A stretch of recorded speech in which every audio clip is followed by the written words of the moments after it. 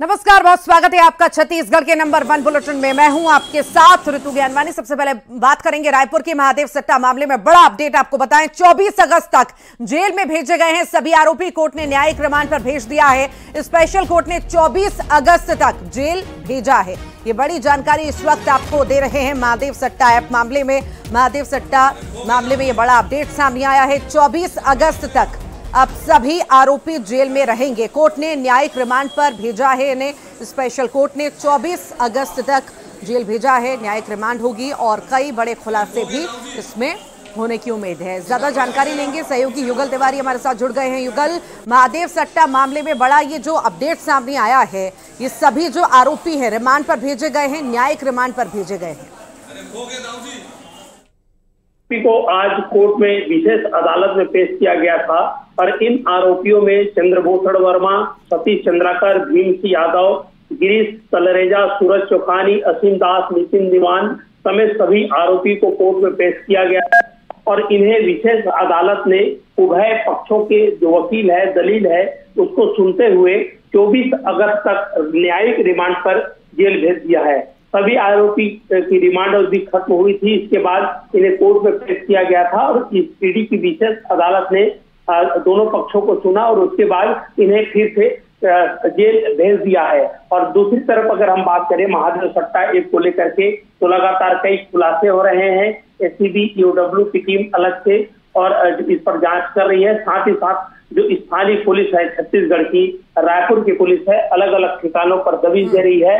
और ये भी जानकारी है कि उच्च स्तरीय कार्यवाही के लिए केंद्रीय गृह मंत्रालय को पत्र भी लिखा गया है।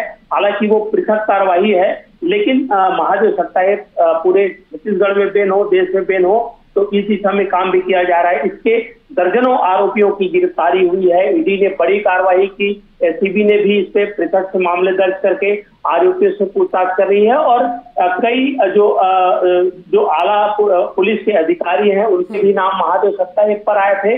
कुछ जो राजनीतिक से जुड़े हुए लोग हैं उनके भी नाम आए हैं और कई जो इस मामले में जो नामजद रिपोर्ट भी दर्ज हुए हैं। तो अभी पूछताछ फ़िलहाल पृथक से अलग अलग जाँच की जा रही हो। सकता है कि जैसे इनपुट मिले उसके बाद और भी गिरफ्तारी है वो जी ठीक बहुत बहुत शुक्रिया युगल जानकारी को साझा करने के लिए। आप लगातार बने रहिएगा फिर आपके पास लौटूँगी अगली खबर पर।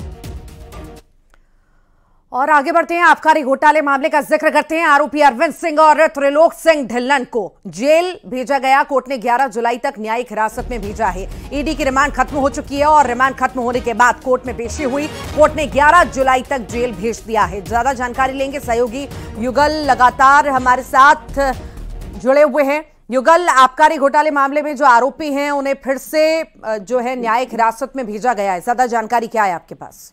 जी देखिए ईडी ने दोनों आरोपियों को आरोपी अरविंद सिंह और तिलक त्रिलोक सिंह ढिल्लन है। इसे पहले जेल में जाके औपचारिक रूप से गिरफ़्तार किया। उसके बाद गिरफ्तारी की सूचना कोर्ट पर दी गई और न्यायिक रिमांड पर इन्हें लेकर के पूछताछ की जा रही थी। अबकारी घोटाला एक बड़ा लीकर स्केल था। लगभग 2200 करोड़ का एक बड़ा घोटाला है। पूछताछ की गई है। दूसरी ओर एससीबी की टीम है। उन्होंने नकली होलोग्राम जहाँ से बनाया गया था उसके जाफिरे को बरामद किया है एक अहम सबूत है तो इस पर लगातार ईडी कार्रवाई कर रही है एस और डब्ल्यू की टीम है वो कार्रवाई कर रही है और चूँकि रिमांड की अवधि खत्म हो गई थी दोनों आरोपी को तो इसलिए आज स्पेशल कोर्ट पर पेश किया गया और वहाँ भी दलील दिया गया कि क्या रिमांड है और फिर 11 जुलाई तक से दोनों आरोपियों को जेल भेज दिया गया बहुत बहुत शुक्रिया युगल जानकारी को साझा करने के लिए। आगे बढ़ेंगे बलौदा बाज़ार से बड़ी खबर है। हिंसा मामले में एक आरोपी की गिरफ्तारी हुई है। युवक कांग्रेस का जिला अध्यक्ष गिरफ़्तार हुआ है। शैलेंद्र बंजारे की गिरफ्तारी हुई। अब तक हिंसा मामले में 155 आरोपियों की गिरफ्तारी हो चुकी है। और आपको बताएँ, अब जो गिरफ्तारी हुई है, एक और गिरफ्तारी हुई है। नाम जो है शैलेंद्र बंजारे बताया जा रहा है। और ज़्यादा जानकारी के लिए सहयोगी दुर्गेश हमारे साथ जुड़, यो, माफ़ कीजिएगा, योगेश हमारे साथ जुड़ गए हैं। योगेश, बलौदा बाज़ार में जो हिंसा हुई, उसी हिंसा में एक और गिरफ्तारी।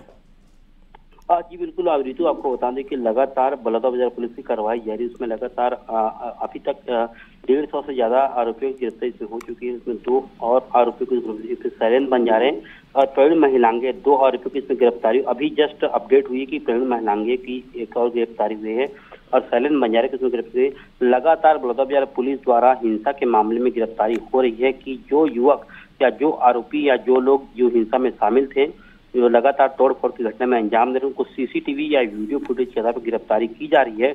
उसमें हम्म। आज दो आरोप गिरफ्तारी शाम को हुई है। उसमें शैलेंद्र बंजारे और पहल महिलांगे के नाम शामिल है पुलिस की लगातार कार्रवाई जारी है। सीसीटीवी फुटेज और वीडियो के आधार पर पुलिस अभी भी गिरफ्तारी कर रही है। कारण यह है कि वीडियो फ़ोटो सीसीटीवी फुटेज इनके आधार पर पुलिस की जो गिरफ्तारी वो लगातार जारी है इसमें अब तक 155 आरोपी गिरफ्तारी इसमें की है और पुलिस हाँ। आगे खंगार है कि आखिर कौन कौन आरोपी इसमें शामिल है। ठीक बहुत बहुत शुक्रिया योगेश। महिला थाना प्रभारी को जेल हुई है कोर्ट ने 19 जुलाई तक न्यायिक रिमांड पर भेजा है। महिला टीआई को एसीबी ने गिरफ़्तार किया बीस हज़ार के घूस लेते हुए गिरफ्तारी इसकी हुई थी।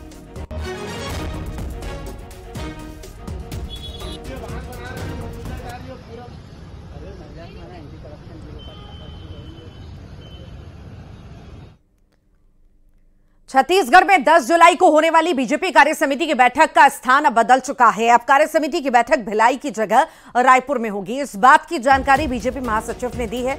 बता दें, इस बैठक में प्रदेश प्रभारी नितिन नवीन, सीएम साय समेत छत्तीसगढ़ के बीजेपी के बड़े नेता शामिल होंगे। रायपुर के दीनदयाल ऑडिटोरियम में इस बैठक का आयोजन होगा, जिसमें 1200 से अधिक कार्यकर्ता शामिल होंगे।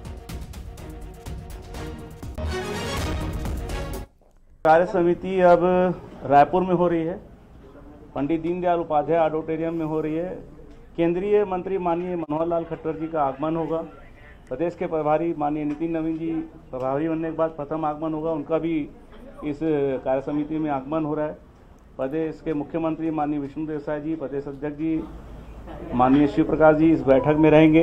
एक वृहद बैठक हो रही है जिसमें लगभग 2,500 से 2,000 लोगों की उपस्थिति होगी। ज़्यादा जानकारी के लिए सहयोगी आकाश शुक्ला हमारे साथ जुड़ गए हैं। आकाश, बीजेपी कार्य समिति की बैठक होनी है और स्थान में बदलाव किया गया है। भिलाई की जगह अब रायपुर में होगी बड़े दिग्गज इसमें शामिल होंगे, कैसी ये बैठक होगी और साथ ही साथ स्थान में जो बदलाव किया गया है, आखिर क्यों? जी, बिल्कुल, ये बीजेपी कार्य समिति की बैठक है और जैसे पूर्व कार्यक्रम के तहत तय किया गया था कि भिलाई में यह आयोजन होना है और इसके लिए लगातार तैयारियाँ चल रही थी।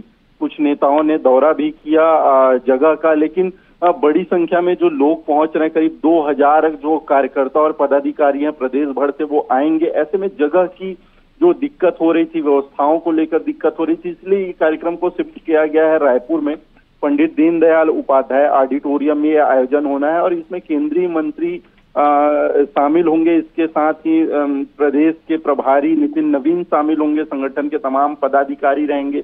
पहली बार ऐसा हो रहा है कि इतनी बड़ी संख्या में जो कार्य समिति की बैठक में कार्यकर्ताओं को और पदाधिकारियों को बुलाया गया है, ज़िले से मंडल स्तर तक के जो पदाधिकारी हैं वो आएँगे और इसमें आगामी चुनाव को लेकर चर्चा होगी। जिस तरीके से नगरीय निकाय निकाय चुनाव आने वाला है तो उसको लेकर एक तरीके से स्कूल इसे बिगुल फूकना मान सकते हैं। तो तमाम तैयारियाँ ऐसी हैं जो भाजपा की तरफ़ से की जा रही है जी। ठीक बहुत बहुत शुक्रिया, आकाश। बिलासपुर का ज़िक्र करते हैं। भिलाई विधायक देवेंद्र यादव को झटका लगा है। हाईकोर्ट ने स्वीकार की है चुनावी याचिका। पूर्व विधायक प्रेम प्रकाश पांडे की है चुनावी याचिका। बता दें, देवेंद्र यादव ने सुनवाई न करने के लिए याचिका लगाई थी। इकतीस जुलाई को अगली सुनवाई होगी।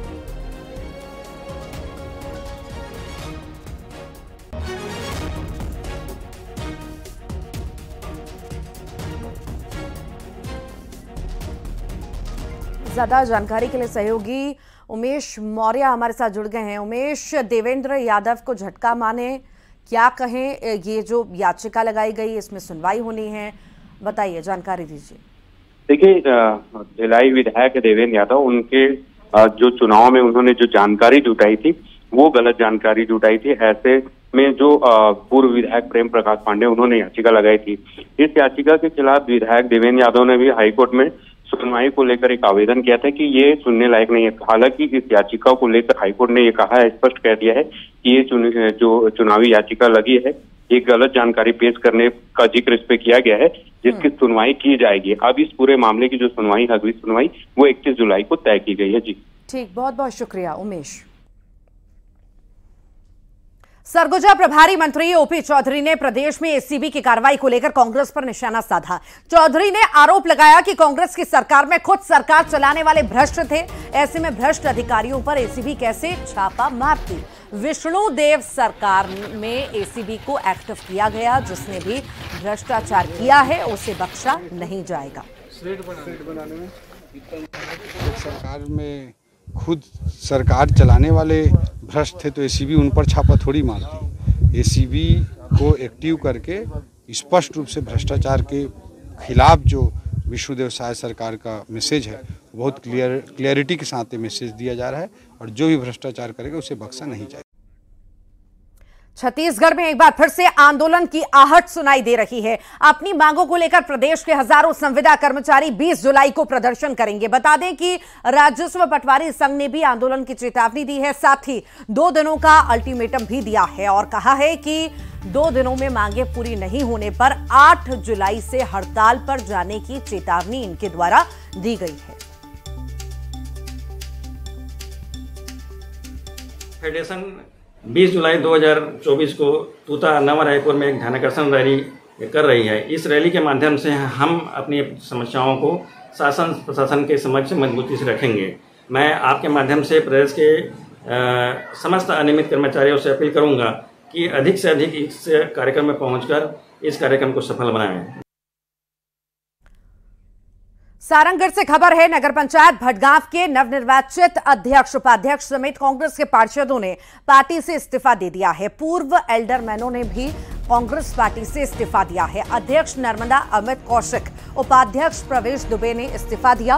कांग्रेस के प्रदेश अध्यक्ष दीपक बैच को व्हाट्सएप पर यह इस्तीफा भेजा है। कल कांग्रेस विधायक कविता प्राण लहरे ने भटगांव में चक्का जाम किया था, भटगांव के जनप्रतिनिधियों पर भ्रष्टाचार का आरोप लगाया था। बीजेपी में भी शामिल होने की अटकलें अब तेज होने लगी हैं।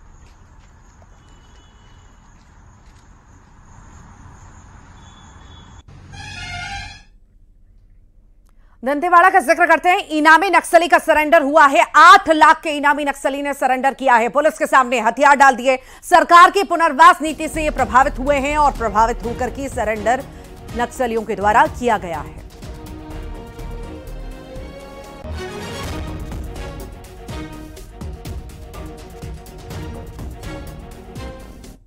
कवर्धा में पुलिस को बड़ी कामयाबी हाथ लगी है। पुलिस ने एक साल पहले हुई चोरी की वारदात का खुलासा किया। इस मामले के आरोपी तीन चोरों को भी गिरफ़्तार किया। इनके पास से चोरी का सामान और चोरी के पैसों से खरीदी गई बाइक भी बरामद की है।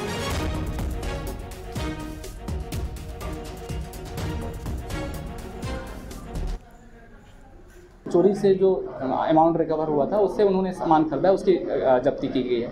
तो घटना में आज दिनांक तक छः लाख रुपए, कुछ सोने चांदी के जवरात, दो कार स्विफ्ट की और दो स्कूटी इनकी अभी तक जब्ती की गई है। आगे टीम जाएगी, रतलाम के लिए, रवि को पकड़ के, उसके पश्चात और भी सोना चांदी के जो, जेवरात हैं, उसकी बरामदगी की उम्मीदें हैं।